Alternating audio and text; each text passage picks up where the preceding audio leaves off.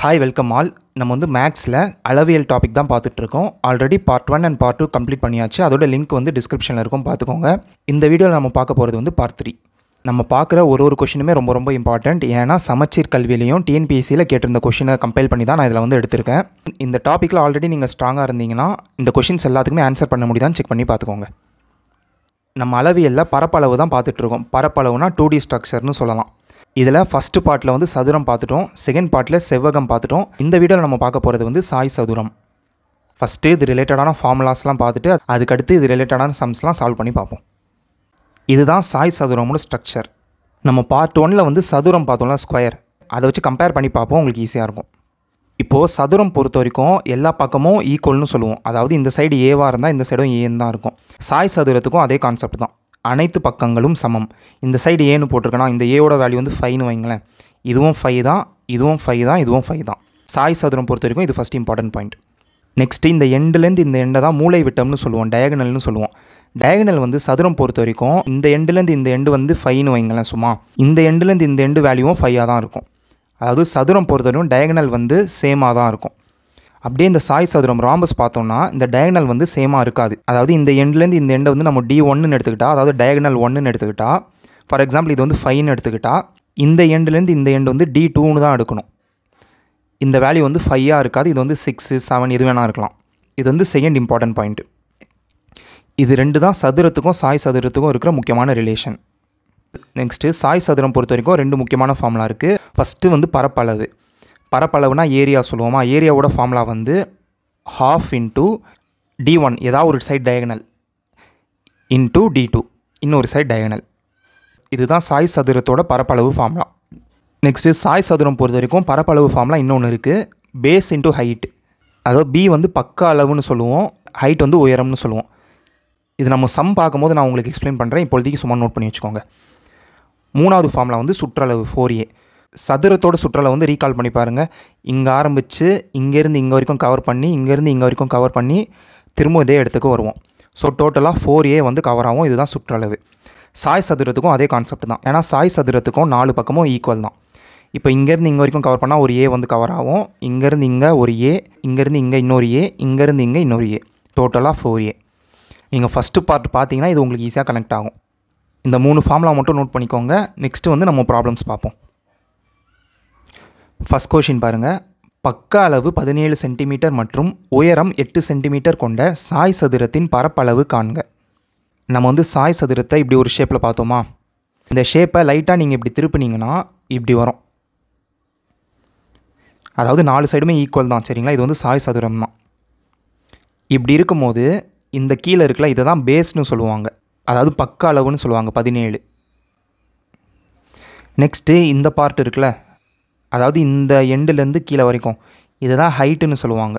இதுதான் உயரம் eight centimetre so பரப்பளவு ஃபார்முலா என்னது? பேஸ் இன்ட்டு ஹைட்டு அதாவது பதினேழு இன்ட்டு எட்டு. பதினேழு இன்ட்டு எட்டு வந்து ஒன் தேர்ட்டி சிக்ஸ் இதுவும் சென்டிமீட்டரில் இருக்குது இதுவும் சென்டிமீட்டரில் இருக்குது ஸோ சென்டிமீட்டர் ஸ்கொயர் பரப்பளவு எப்போவுமே சென்டிமீட்டர் ஸ்கொயரில் தான் இருக்கும். இது நிறைய வாட்டி சொல்லியிருக்கேன். ஸோ கரெக்ட் ஆன்சர் வந்து option C one thirty six centimetre square நம்ம இதுக்கு முன்னாடி ஃபார்முலாவில் வந்து பரப்பளவில் மூளை விட்டம் வச்சு ஃபார்முலா பார்த்தோம். ஒன்று அது மாதிரி கொடுத்துருப்பாங்க இல்லைனா இந்த மாதிரி கொடுத்துருப்பாங்க. இந்த மாதிரி கொடுத்தா நீங்கள் இப்படி எடுக்கணும். நெக்ஸ்ட் கொஷின் பாருங்கள் சாய் சதுரத்தின் மூளை விட்டங்களுக்கு இடையே உள்ள கோணம். ரொம்ப ரொம்ப இம்பார்ட்டன்ட் கொஷின் இது.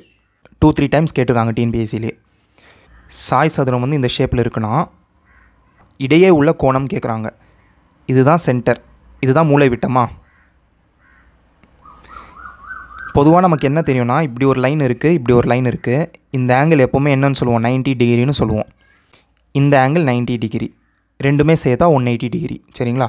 மூளை விட்டங்களுக்கு இடையே உள்ள கோணம்னா இதுதான் இந்த பார்ட் தான். இப்படி ஒரு மூளை விட்டம் போது இப்படி ஒன்று போகுது. இந்த ஆங்கிள் வந்து எப்போவுமே 90 டிகிரி தான். சரிங்களா? ரொம்ப ஈஸியான question but two three times கேட்டிருக்காங்க இதை.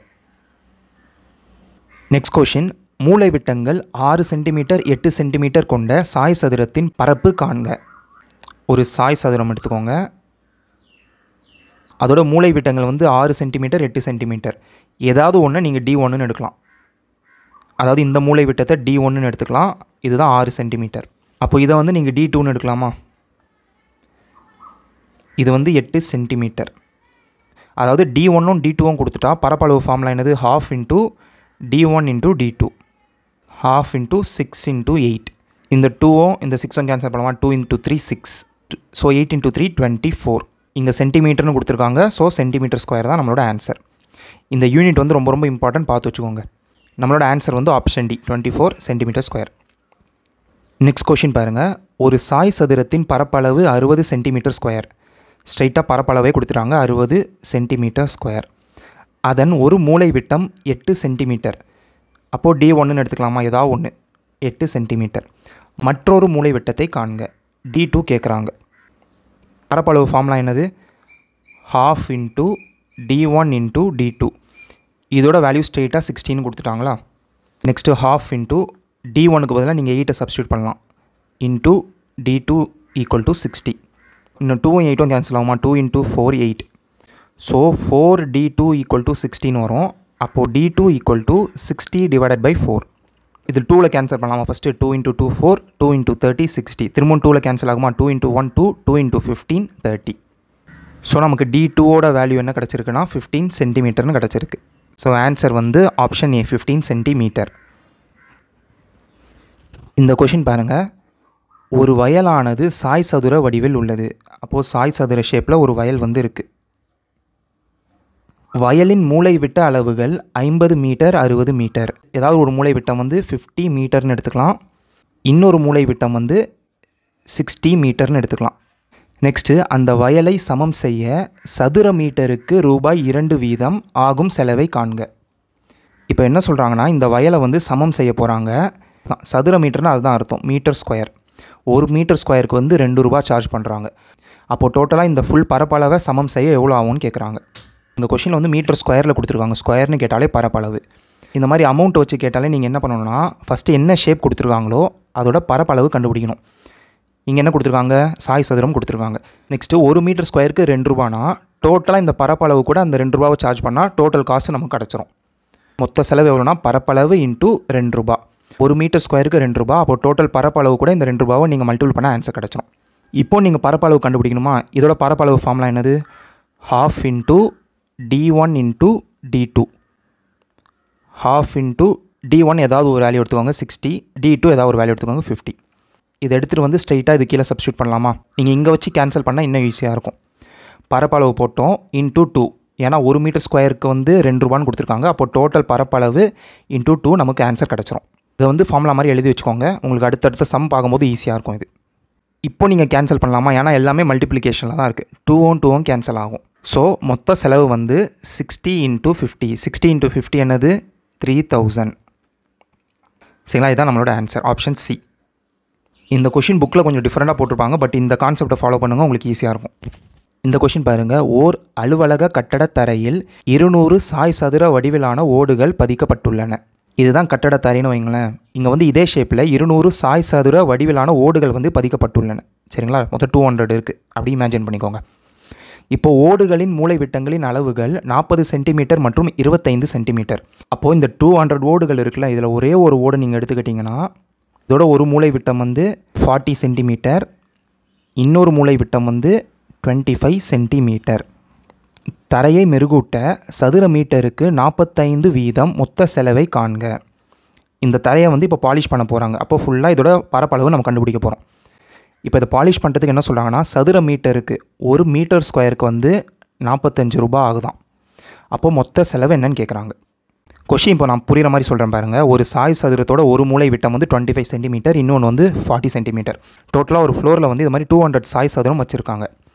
இப்போ இதுக்கு மேலே வந்து பாலிஷ் பண்ண போகிறாங்க. பாலிஷ் பண்ணுறதுக்கு ஒரு மீட்டர் ஸ்கொயருக்கு நாற்பத்தஞ்சு ரூபா ஆகுது. அப்போது டோட்டலாக எவ்வளோ ஆகும்னு கேட்குறாங்க. மொத்த செலவுனா என்ன பண்ணுவோம்னா ஃபஸ்ட்டு பரப்பளவு கண்டுபிடிக்கணும். எந்த ஷேப் கொடுத்துருக்காங்களோ அதோட பரப்பளவு கண்டுபிடிக்கணும். இன்ட்டு ஒரு மீட்டர் ஸ்கொயருக்கு வந்து நாற்பத்தஞ்சு ரூபான்னு சொல்லியிருக்காங்க. அப்போது இந்த மொத்த பரப்பளவு கூட இந்த நாற்பத்தஞ்சை நீங்கள் மல்டிபிள் பண்ணணும். இதில் இன்னொரு பாயிண்ட் என்ன சொல்லியிருக்காங்கன்னா இதில் மொத்தம் இருநூறு சாய் சதுரம் இருக்குன்னு சொல்லியிருக்காங்க. நீங்கள் வந்து ஒரே ஒரு சாய் சதுரத்தோட பரப்பளவு கண்டுபிடிச்சிட்டு அது கூட நீங்கள் டூ ஹண்ட்ரடாக மல்டிபிள் பண்ணும்போது நமக்கு வந்து இருநூறு சாய் சதுரத்தோட பரப்பளவு வந்து தெரிஞ்சிடும் ஸோ இந்த பரப்பளவு கூட நீங்கள் இன்னொரு டூ ஹண்ட்ரடையும் மல்டிபிள் பண்ணணும்.